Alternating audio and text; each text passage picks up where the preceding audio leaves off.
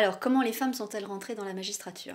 C'est un vaste sujet parce que ça a été difficile pour les femmes d'entrer dans la magistrature. Tout au long du 19e siècle et pendant la première partie du 20e siècle, en fait, les hommes se sont opposés fermement, farouchement, à ce que les femmes rentrent dans la magistrature.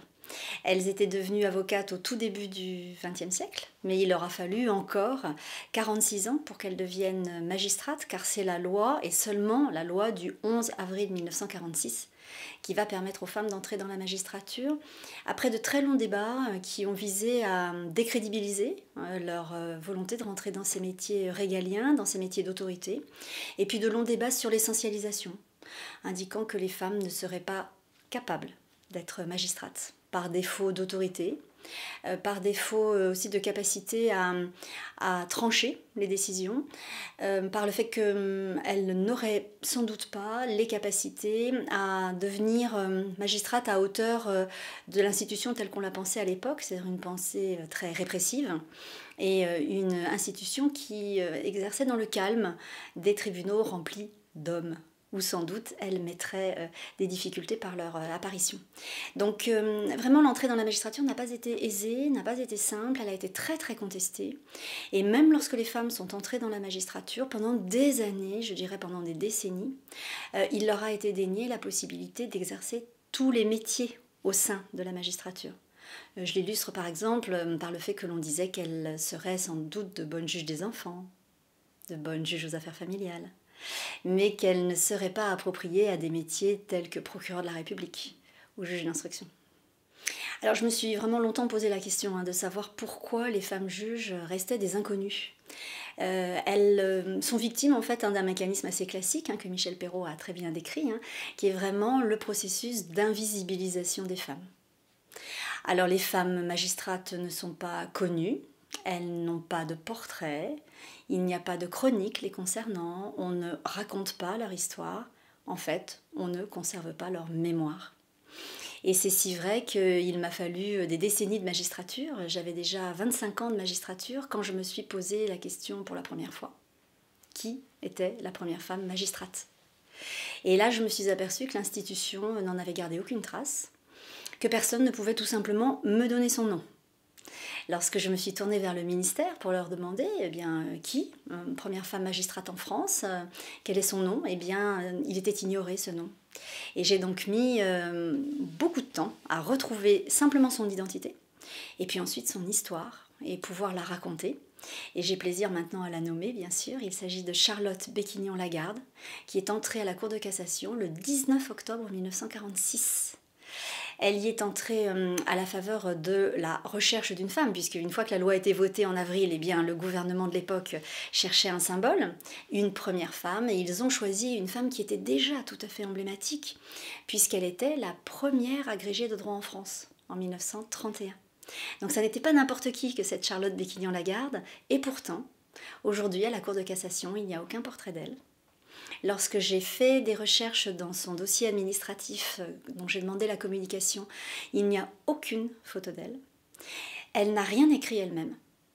J'aurais tellement aimé qu'elle écrive un petit journal de bord, en quelque sorte, hein, qu'elle nous explique euh, comment ça se passait, l'arrivée d'une femme euh, dans ce milieu si masculin, euh, masculin de tout temps. Hein.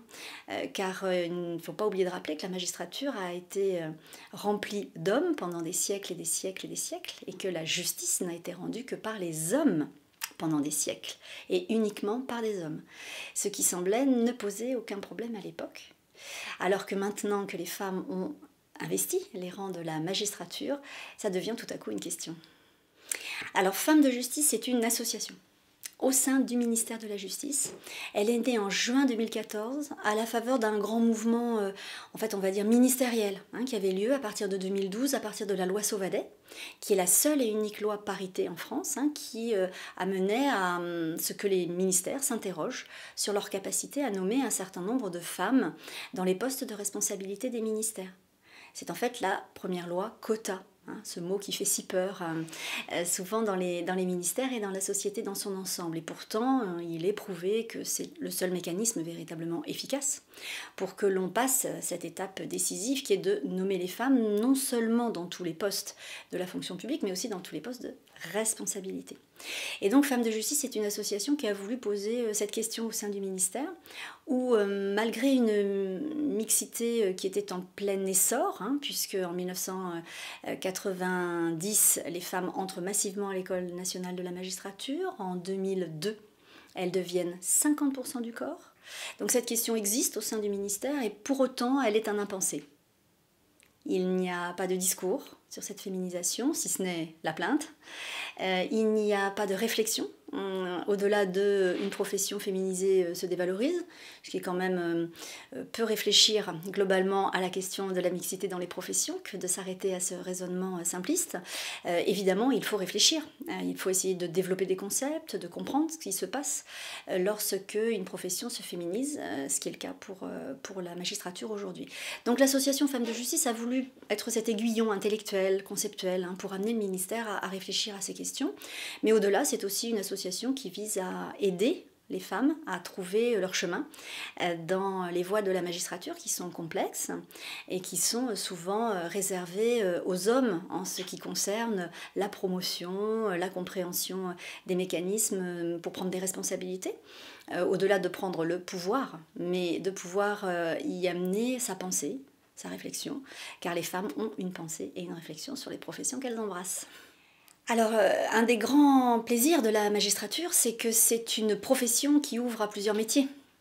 On peut être magistrat de la République française, mais en même temps décider d'être soit juge d'instruction, soit juge d'application des peines, soit juge des affaires familiales, soit juge des enfants, soit magistrat traitant des dossiers civils, soit siéger en cour d'assises. Enfin, vous voyez, il y a de multiples euh, façons d'exercer cette profession.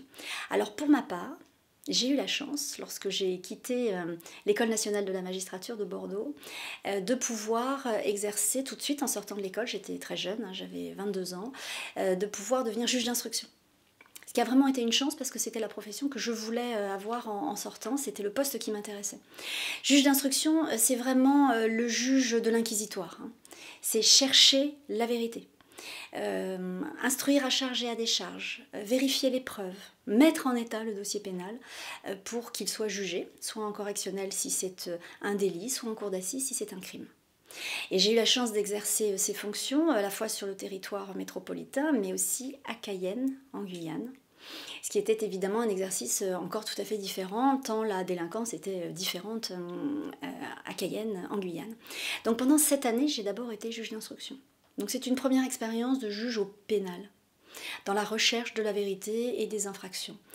Et puis ensuite, je suis devenue juge aux affaires familiales, qui est à peu près l'autre partie euh, du, du, spectre, en fait. Et, là, c'est tout le contraire, hein. ça n'est plus un juge de l'inquisitoire, c'est vraiment le juge de l'accusatoire.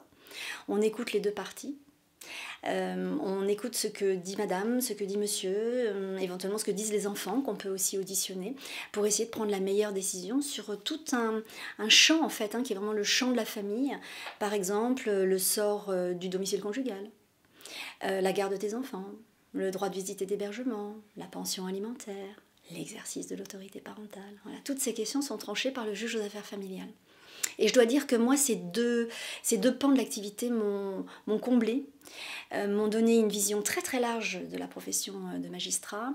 Et euh, je m'y suis vraiment beaucoup retrouvée. J'ai trouvé très intéressant de faire le lien entre le pénal, le civil, l'instruction, où j'instruisais beaucoup d'affaires intrafamiliales, beaucoup de viols, beaucoup de violence au sein des familles, et de me retrouver ensuite dans l'accusatoire, c'est-à-dire dans l'explication des parties quant à leur séparation.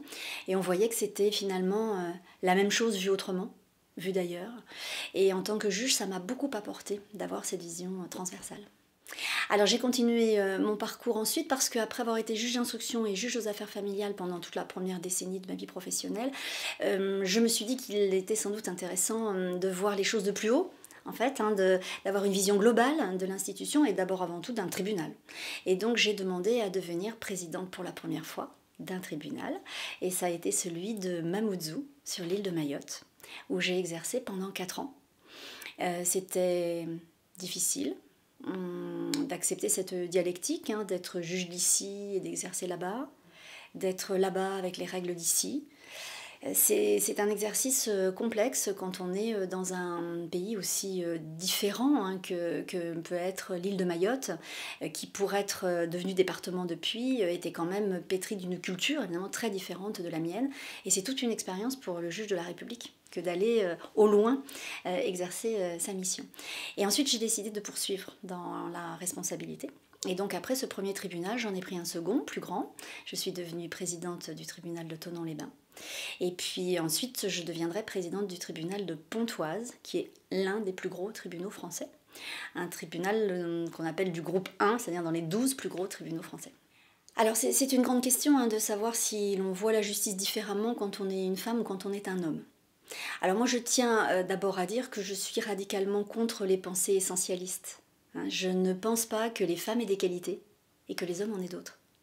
Parce que là c'est le piège de la complémentarité, le piège de l'essentialisation, et c'est là où l'on va dire que les femmes doivent être juges des enfants et les hommes juges d'instruction, euh, que les femmes doivent faire de la RH et les hommes du budgétaire. Donc ça, je pense qu'il faut vraiment se méfier de cela, et donc je suis euh, très opposée à cette façon de voir les choses. En revanche, que être des hommes et des femmes dans une profession nous amène à une plus grande ouverture, à même, je pense, une plus grande euh, performance de l'institution, ça, j'y crois tout à fait. Je pense qu'il est bon que partout, il y ait euh, des hommes et des femmes. Partout euh, en mixité, et puis ensuite partout en parité. C'est-à-dire qu'il faut des hommes et des femmes pour tenir les audiences correctionnelles jusqu'à 23 heures, et il faut des hommes et des femmes pour diriger les juridictions jusqu'à leur plus haut niveau. Car euh, aujourd'hui, je suis la première femme à diriger la Cour d'appel de Poitiers.